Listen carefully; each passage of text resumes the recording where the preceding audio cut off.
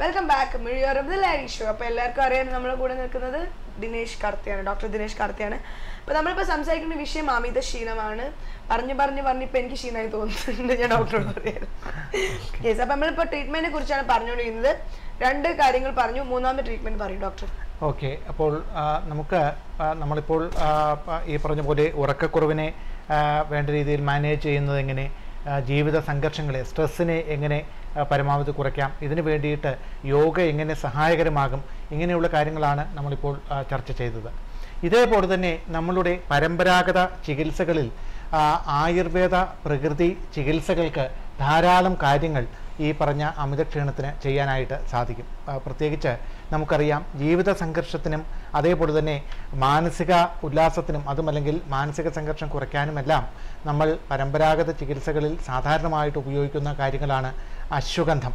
ഇപ്പോൾ അശ്വഗന്ധം സ്ഥിരമായിട്ട് അശ്വഗന്ധം തന്നെ പല രീതിയിൽ അതിന്റെ രൂപങ്ങളിൽ നമുക്കിന്ന് ടാബ്ലറ്റ് ഫോമിലും അതേപോലെ തന്നെ പൗഡർ ഫോമിലും എല്ലാം തന്നെ ഇത് ലഭിക്കുന്നുണ്ട്. ഇത് ഈ അമിത ക്ഷീണത്തിന് അതുമായി ബന്ധപ്പെട്ട ഉറക്കക്കുറവ് അതേപോലെ തന്നെ ഉള്ള ബാക്കിയുള്ള ജീവിത സംഘർഷങ്ങൾ കുറയ്ക്കാൻ ഇതിനെല്ലാം അശ്വഗന്ധം സ്ഥിരമായിട്ട് ഉപയോഗിക്കുന്നത് നല്ലതാണ് എന്ന് കണ്ടിട്ടുണ്ട്. പക്ഷേ അശ്വഗന്ധം ഉപയോഗിക്കുന്നത് നല്ലതാണ് എന്നതുകൊണ്ട് എല്ലാവരും ഓടിച്ചെന്ന് ഉടൻ തന്നെ അശ്വഗന്ധം കഴിക്കണമെന്നല്ല പറയുന്നത്.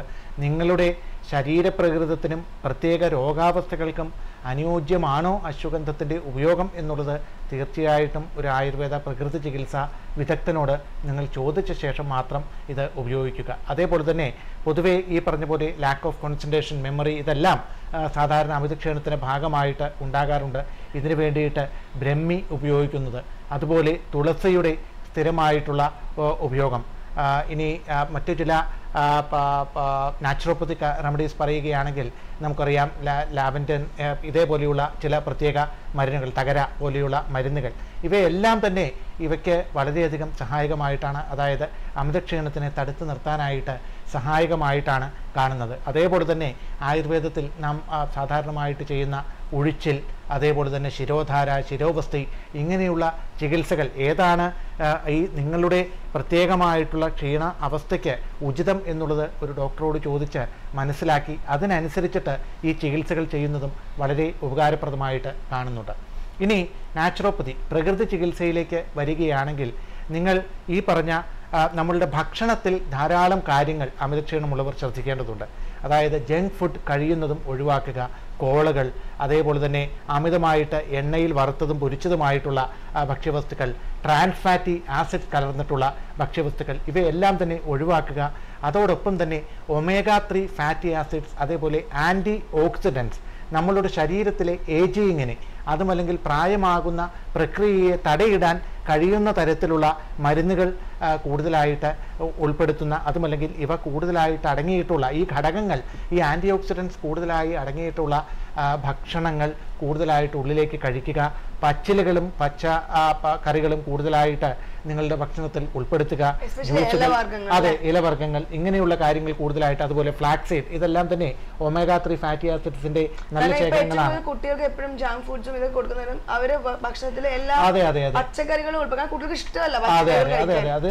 ചവച്ചരച്ച്. കഴിക്കേണ്ടേ എന്നുള്ളൊരു മടിയാണ്. മറ്റേ പെട്ടെന്ന് ഫാസ്റ്റ് ഫുഡ് ആകുമ്പോൾ പെട്ടെന്ന് കഴിക്കാലോ? അതെ അതെ. ഇത് വലിയൊരു പ്രശ്നം തന്നെയാണ്. ചെറുതായിട്ടാണ് നമ്മൾ വലുതാവുന്നത്. അപ്പം ചെറുപ്പത്തിൽ ഈ ഒരു ഹാബിറ്റ് ആക്കി കൊടുക്കുക എല്ലാ വെജിറ്റബിൾസും കഴിക്കണം എന്നുള്ളത് കുട്ടികളിൽ ഒരു ഹാബിറ്റ് ആക്കി അതെ തീർച്ചയായും. അപ്പോൾ ഈ പറഞ്ഞ രീതിയിലുള്ള ഭക്ഷണത്തിലെ നല്ല രീതിയിലുള്ള മാറ്റങ്ങൾ അവയിൽ നല്ല ആരോഗ്യകരമായിട്ടുള്ള സംഗതികൾ ഉൾപ്പെടുത്തിക്കൊണ്ടുള്ള ബൂസ്റ്റ് കുറച്ച് കുറക്കുക അല്ലെ? അതെ കൂടുതലായിട്ട് ഞാനിപ്പോൾ ഒരു ബ്രാൻഡ് നെയിമിനെ എടുത്ത് പറയാം. എന്നാൽ തന്നെ പൊതുവേ ഈ പറഞ്ഞ എന്തെങ്കിലും ഈ പറഞ്ഞ പോലെ കലക്കി കൊടുക്കുന്ന ഒരു ഇതിനേക്കാളും പ്രകൃതിദത്തമായിട്ട് നമുക്ക് തന്നെ അതെ നമുക്ക് തന്നെ ധാരാളം പ്രകൃതിദത്തമായിട്ട് കലക്കി കൊടുക്കാവുന്ന ധാരാളം സംഗതികൾ പ്രകൃതിയിൽ തന്നെയുണ്ട്.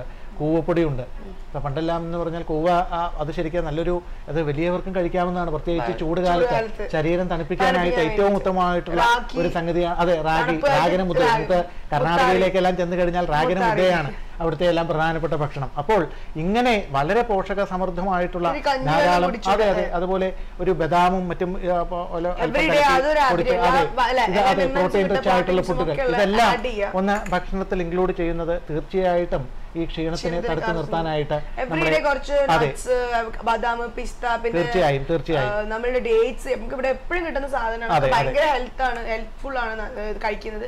എസ്പെഷ്യലി ഈ അനീമിക്ക ആൾക്കാർ ഈ ഡേറ്റ്സ് കഴിക്കുന്നത് ഭയങ്കര നല്ലതെന്ന് പറയും തീർച്ചയായും തീർച്ചയായും. അപ്പോൾ അപ്പം ഇങ്ങനെയുള്ള അതെ ഉൾപ്പെടുത്തുക. അതേപോലെ നിങ്ങൾ ഞാൻ എപ്പോഴും എല്ലാവരോടും പറയുന്ന എന്റെ ക്ലിനിക്കിൽ വരുന്നവരോടാണെങ്കിലും സുഹൃത്തുക്കളോടും എല്ലാം പറയുന്ന ഒരു കാര്യമുണ്ട്. പലപ്പോഴും നമ്മൾ ബാക്കിയുള്ളവർക്ക് വേണ്ടിയിട്ട് എല്ലാം നമുക്ക് സമയമുണ്ട്. നമ്മുടെ ജോലിക്ക് വേണ്ടി സമയമുണ്ട് ഭാര്യയ്ക്ക് ഭർത്താവിന് വേണ്ടി സമയമുണ്ട് ഭർത്താവിന് ഭാര്യയ്ക്ക് വേണ്ടി സമയമുണ്ട് കുട്ടികൾക്ക് വേണ്ടി സമയമുണ്ട്. പക്ഷേ ഈ ഓട്ടപ്പാച്ചിലിനിടയ്ക്ക് ഈ ഓണപ്പാച്ചിലിന്റെയും വിഷുപ്പാച്ചിലിന്റെയും എല്ലാം ഇടയ്ക്ക് നാം മറക്കുന്ന ഒരു കാര്യമുണ്ട്. നമ്മൾ നമ്മൾ എന്ന് പറഞ്ഞാൽ അഹം എന്നുള്ളത് ഒഴിവാക്കണം എന്നാണെങ്കിലും ചില കാര്യങ്ങളിലെങ്കിലും അഹം ബ്രഹ്മാസ്മി എന്നുള്ള ചിന്ത വേണമെന്നല്ല പറയുന്നത്. എന്നാലും നമ്മളുടെ ശരീരത്തെക്കുറിച്ചുള്ള ഒരു ചിന്ത ശരീരമാദ്യം ഖലുധർമ്മ സാധനം എന്നാണ് പറഞ്ഞിരിക്കുന്നത്. അതായത് ശരീരത്തെ മറന്നുകൊണ്ടുള്ള പ്രവൃത്തികളിലേക്ക് ദയവായിട്ട് പോകാതിരിക്കുക. നിങ്ങളുടെ ശരീരത്തിനും മനസ്സിനും റിലാക്സേഷൻ നൽകുന്ന തരത്തിലുള്ള ചില സ്വന്തം ശരീരത്തെ ഒന്ന് ഇടയ്ക്കെങ്കിലും പാമ്പർ ചെയ്യാനായിട്ട് ശ്രമിക്കുക. സ്വന്തം ശരീരത്തിനും ഒരു അല്പം സ്നേഹവും പരിചരണവും എല്ലാം ആവശ്യമുണ്ട്. ഇത് പലപ്പോഴും നാം മറക്കുന്നു.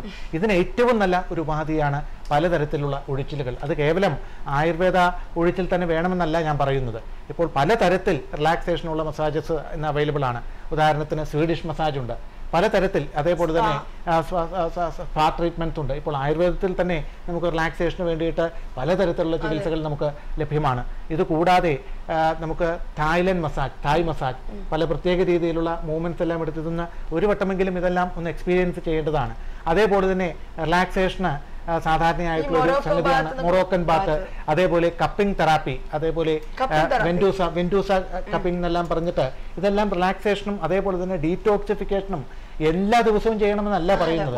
ഇടയ്ക്കെങ്കിലും ഒന്ന് ശരീരത്തിന് ശരീരത്തിനെ ഒന്ന് പാമ്പർ ചെയ്യുന്നത് ശരീരത്തിന് ഒരു സുഖം പകരുന്നത് നിങ്ങളുടെ ദൈനംദിനമുള്ള ഈ ഓട്ടപ്പാച്ചിലിനിടയ്ക്ക് ശരീരത്തിന് ഒരു അല്പം പരിചരണവും സ്നേഹവും പ്രദാനം ചെയ്യുന്നത് ഈ പറഞ്ഞ രീതിയിലുള്ള അമിത ക്ഷീണത്തിനെയും അതേപോലെ തന്നെ ഇതുമായി ബന്ധപ്പെട്ടിട്ടുള്ള ജീവിത സംഘർഷത്തിനെയും ഉറക്കക്കുറവിനെയും എല്ലാം നല്ല രീതിയിൽ ഒന്ന് ഒരു പ്രത്യേക ലെവലിലേക്ക് കൊണ്ടുവരാനായിട്ട് സഹായിക്കുന്നതായിട്ടാണ് കണ്ടിട്ടുള്ളത്. അതേപോലെ തന്നെ അക്യുപഞ്ചർ ചൈനീസ് ചികിത്സാ രീതിയായ അക്യുപഞ്ചർ ഈ അക്യുപഞ്ചറിൽ നമ്മൾ ചെയ്യുന്നത് നിങ്ങളുടെ രോഗാവസ്ഥകൾക്ക് മനസ്സിൽ ക്രോണിക് ഫാറ്റിക് സിൻഡ്രത്തിന് വളരെയധികം ഉപകാരം ചെയ്യുന്ന ഒരു ചികിത്സാ സമ്പ്രദായം കൂടിയാണ് അക്യുപഞ്ചർ കാരണം അമിതക്ഷീണം ഉണ്ടെങ്കിൽ പലപ്പോഴും ഈ പറഞ്ഞ രീതിയിൽ വലിയ ട്രീറ്റ്മെന്റ്സ് ഒന്നും എടുക്കാൻ ഉള്ള സമയമില്ല. എങ്കിൽ തീർച്ചയായിട്ടും അക്യുപഞ്ചർ നിങ്ങൾക്ക് നല്ലൊരു ചികിത്സ ഉപാധിയാണ്. അക്യുപ്രഷർ മസാജ് പോലെയുള്ള സംഗതികളും നിങ്ങൾക്ക് പരീക്ഷിക്കാവുന്നതാണ്. അപ്പോൾ ക്രോണിക് ഫറ്റീക് സിൻഡ്രം എന്നുള്ളത് അതുമല്ലെങ്കിൽ അമിത ക്ഷീണം എന്നുള്ളത് നിങ്ങൾ അംഗീകരിച്ചു കഴിഞ്ഞാൽ എനിക്ക് അമിത ക്ഷീണമാണ് എന്ന് അംഗീകരിച്ച് ശരി അതിന് വഴങ്ങിക്കൊടുത്തു കഴിഞ്ഞാൽ ഈ ഒരു രോഗാവസ്ഥയുമായിട്ട് നടക്കുവാൻ മാത്രമേ നിങ്ങൾക്ക് ജീവിതത്തിൽ സാധിക്കുകയുള്ളൂ. അപ്പോൾ ആദ്യമായി ചെയ്യേണ്ടത് ഉത്തിഷ്ഠത ജാഗ്രത എന്നാണ് ഞാൻ പറയുക. ഉണരുക ജാഗ്രതയായിട്ട് ഇരിക്കുക. കാരണം നിങ്ങൾ നിങ്ങളുടെ മനസ്സിനെ നിങ്ങൾ എങ്ങനെയാണ് കൊണ്ടുപോകുന്നത് അതിനനുസരിച്ചിട്ടാണ് ഈ രോഗാവസ്ഥ നിങ്ങൾക്ക് ഇതിന്റെ രൂക്ഷത പ്രദാനം ചെയ്യുക. അപ്പോൾ ഇതിനെ എതിർത്ത് നിൽക്കാനാണ് നിങ്ങൾ തീരുമാനിച്ചിരിക്കുന്നതെങ്കിൽ ഞാൻ ഇപ്പോൾ പറഞ്ഞ ഈ ചികിത്സാവിധികൾ തീർച്ചയായിട്ടും നിങ്ങൾക്ക് സഹായകരമാകും. അതല്ല കീഴടങ്ങി കൊടുക്കാനാണ് ഭാവമെങ്കിൽ എന്ത് ചെയ്താലും എന്ത് പറഞ്ഞാലും കാര്യമില്ല. ഇതാണ് നാം മനസ്സിലാക്കേണ്ടത്. യെസ് അപ്പൊ എന്തായാലും ഇന്നത്തെ സബ്ജക്ട് അമിത ക്ഷീണം എല്ലാ പ്രേക്ഷകർക്കും ഇഷ്ടപ്പെടുന്ന ഇഷ്ടപ്പെടാൻ നിങ്ങൾ ആരും വിളിച്ചില്ല. നിങ്ങൾക്ക് അപ്പൊ ആർക്കും അമിത ക്ഷീണം ഒന്നും ഇല്ലാന്ന് തോന്നുന്നു ഡോക്ടർ അതെ, എല്ലാവരും അതെ. ഭയങ്കര എനർജറ്റിക് ആണ്. യെസ് അപ്പൊ എന്തായാലും ഇതിന് ഇങ്ങനെ ഉണ്ടെങ്കിൽ തന്നെ നിങ്ങൾക്ക് ഇപ്പൊ എല്ലാവർക്കും മനസ്സിലായിട്ടുണ്ടാവും. വെച്ചോണ്ടിരിക്കേണ്ട. അതിന്റെ സിംറ്റംസ് അറിയാം. ഇപ്പോ ഇതിന്റെ റിസ്ക്സ് അറിയാം. ഇതിന്റെ കോംപ്ലിക്കേഷൻസ് എല്ലാം നിങ്ങൾക്ക് അറിയാം അപ്പൊ നിങ്ങൾ പെട്ടെന്ന് പോയി ഡോക്ടറെ കാണിക്കുക എന്ന് നിങ്ങളുടെ ഈ അമിത ക്ഷീണം അങ്ങ് ഒഴിവാക്കിയിട്ട് നമ്മൾ ഫുൾ എനർജറ്റിക് ആയിട്ട് ആക്റ്റീവ് ആയിട്ട് നടക്കുക അല്ലേ? നമുക്ക് ക്ഷീണം വേണ്ട നമ്മൾ ഫുള്ള് ആയി നടക്കുക.